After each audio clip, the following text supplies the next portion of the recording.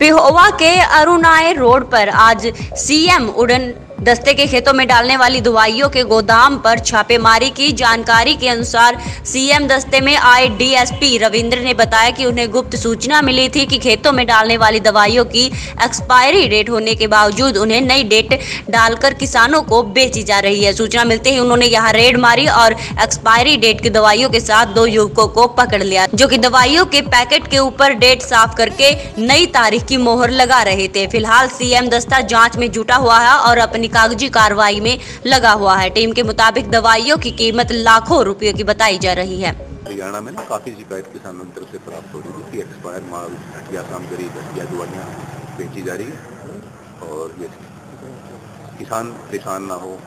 हर कोई आदमी expire date की दवाइयाँ बेच रहे हैं। दोबारा यहाँ आपने देखा है कि एक्सपायर डेट की निकाल करके दोबारा उनको रिफिलिंग कर रहे हैं। मशीन भी अंदर रखी है।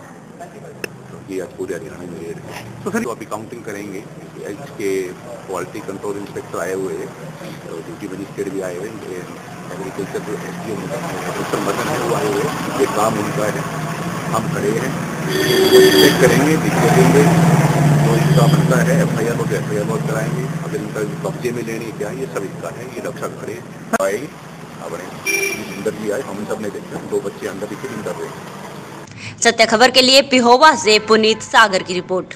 आप देख रहे हैं सत्य खबर। सत्य, सटीक, बेबाक।